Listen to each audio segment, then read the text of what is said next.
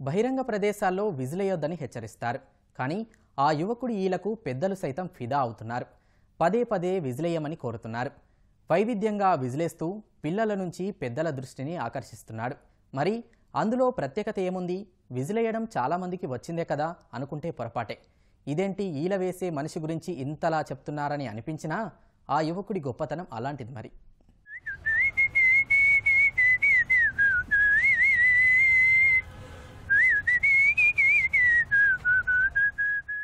నువ్విజిలేస్తే ఆంధ్ర సుడా బుడ్డి.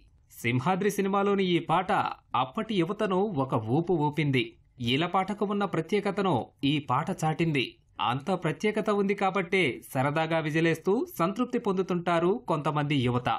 కానీ ఇక్కడ కనిపిస్తున్న వ్యక్తి ఈలకు ఇంకో ప్రత్యేకత ఉంది. ఈయన అందరిలా కాదు. వందలో ఒకరిలా నిలవాలనుకున్నాడు. ఈల వేయడంలో ఎంతో ప్రత్యేకతను చూపిస్తున్నాడు.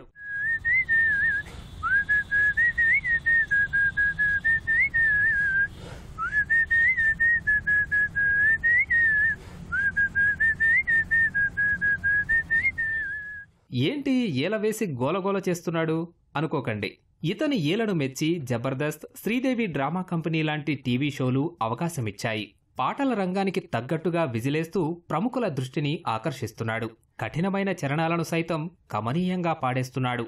అనేక రకాల ప్రోగ్రామ్స్లో తన ఈల పాటలతో ప్రేక్షకుల మనసును దోచుకుంటున్నాడు.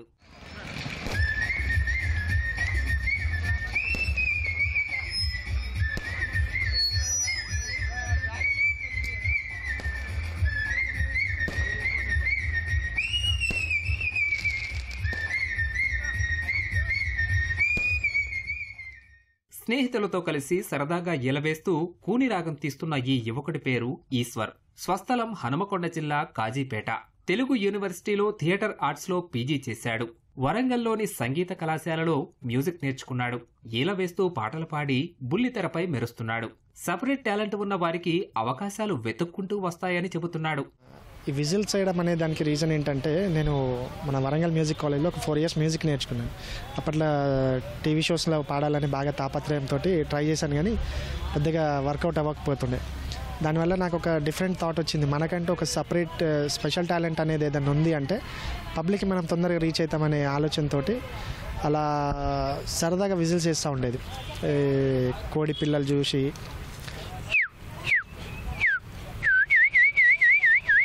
ఇట్లాంటి కోడి పిల్లల్ని చూసి విజిల్ చేయడము. పిల్లలు ఏడ్చినప్పుడు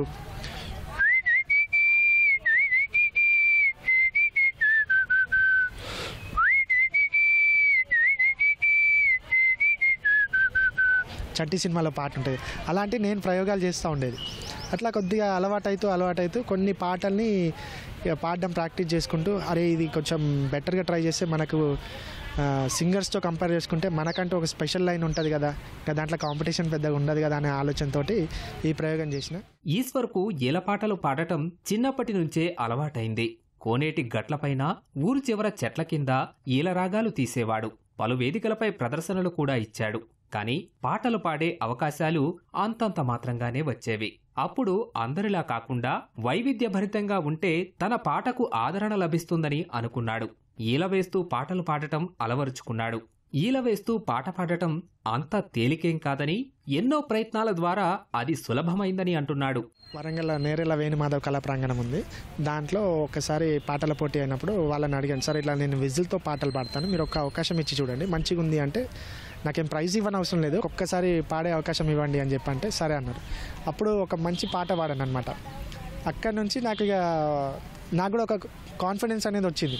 ఎందుకంటే మనం కూడా స్టేజ్ మీద అందరి ముందు పాడినప్పుడు విజిల్తో పాడినప్పుడు ఇక భయపడకుండా ఓకే ఫైన్. ఇక మనం స్టేజ్ల మీద కావచ్చు బయట పబ్లిక్లో కావచ్చు టీవీ షోస్ కావచ్చు ఏవి పడితే అవి చేసుకోవచ్చు అనే ఒక చిన్న కాన్ఫిడెన్స్ అనేది అక్కడ స్టార్ట్ అయింది.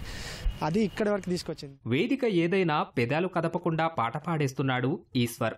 పాటలోని పల్లవి చరణాల శృతి లయ తప్పకుండా ఈల వేస్తూ అలరేస్తున్నాడు. దేశభక్తి గీతాలు మెలోడీ సాంగ్స్ పాడుతూ చూపరలను మంత్రముగ్ధుల్ని చేస్తున్నాడు. ట్రెండింగ్లో ఉండే పాటలు సైతం తన ఏలతో ఆలపిస్తూ యువతను ఉర్రూతలోగిస్తున్నాడు.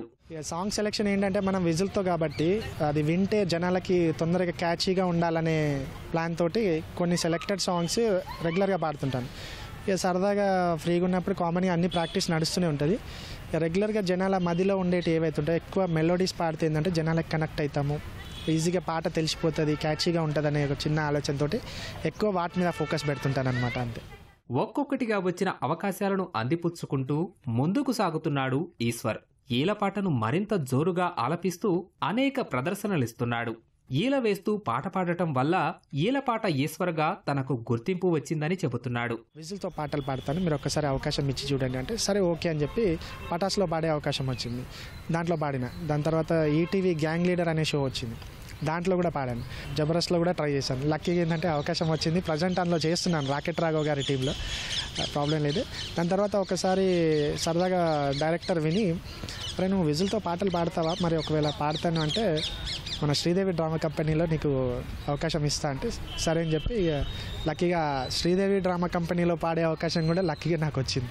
జబర్దస్త్లో దాదాపు చాలామంది విజిల్తో అప్పుడప్పుడు పాడించుకుంటూ అంటారు. మేము ప్రాక్టీస్లో ఉన్నప్పుడు సరదాగా వాళ్ళకి వినిపించాలి వినాలి అనిపిస్తే ఒక విజిల్ పాడు అంటే అలా దాదాపు అందరు టీం లీడర్స్కి తెలుసు నేను విజిల్తో పాటలు పాడతాను అని ఇలా పాట ఈశ్వర్ అని సరదాగా పిలుచుకుంటా అంటారు. బట్ అది నిజం కాబట్టి అలా ఇలా ఇలా అని పిలుచుకుంటా అంటారు. బరస్లో చేస్తుంటాను ప్లస్ ఒక మూవీలో కూడా చేశాను అది ఆహాలో వచ్చిందనమాట ఇష్టమైన రంగంలోకి వెళితే కాస్త కష్టమైన మంచి ఫలితాలు సాధించవచ్చని ఈలపాట ఈశ్వర్ చెబుతున్నాడు. దాంతోపాటు వినూత్నంగా ప్రయత్నించాలని సూచిస్తున్నాడు. అటువంటి టాలెంటే తనను బుల్లితెరకు పరిచయం చేసిందని చెబుతున్నాడు. రొటీన్గా ఉంటే సక్సెస్ అనేది చాలా కష్టం అనేది నాకు అర్థమైంది. చాలామందిని చూస్తుంటారు. ఇలా ఎంతోమంది జబర్దస్త్లో ట్రై చేస్తుంటా అంటారు వాళ్ళు ఏంటంటే డిఫరెంట్ టాలెంట్ ఉన్న వాళ్ళని కళ్ళు మూసుకొని తీసుకుంటారు. హ్యాపీగా వాళ్ళతో చేపిస్తుంటా అంటారు అట్లా ఎంతోమంది వచ్చిండ్రు చేస్తున్నారు. అదే రొటీన్గా ఉండి బయట చూస్తుంటే అట్లా not only Jabardasth not only other shows ఎక్కడైనా సరే మనకంటే ఒక డిఫరెంట్ టాలెంట్ ఉంటే పబ్లిక్కి మనం కొద్దిగా గుర్తుపట్టేలాగా ఉంటే అవకాశాలు వచ్చినట్టే అది చదువుతో పాటు అడిషనల్గా ఉంటే బెటర్ అనేది నా అభిప్రాయం. అంతే.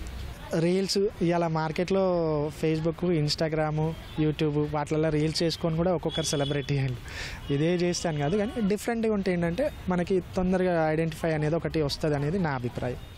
సాధారణంగా జీవిస్తే ఉన్నత శిఖరాలను అందుకోలేమని జీవితంలో ఏదో ఒక ప్రత్యేకతను చూపిస్తేనే అది సాధ్యమని అంటున్నాడు ఈలపాట ఈశ్వర్. ఈలపాటలో ప్రత్యేకతను చూపిస్తూ దాన్ని చాటి చెబుతున్నాడు. ఎంతోమంది యువతకు స్ఫూర్తిగా నిలుస్తున్నాడు.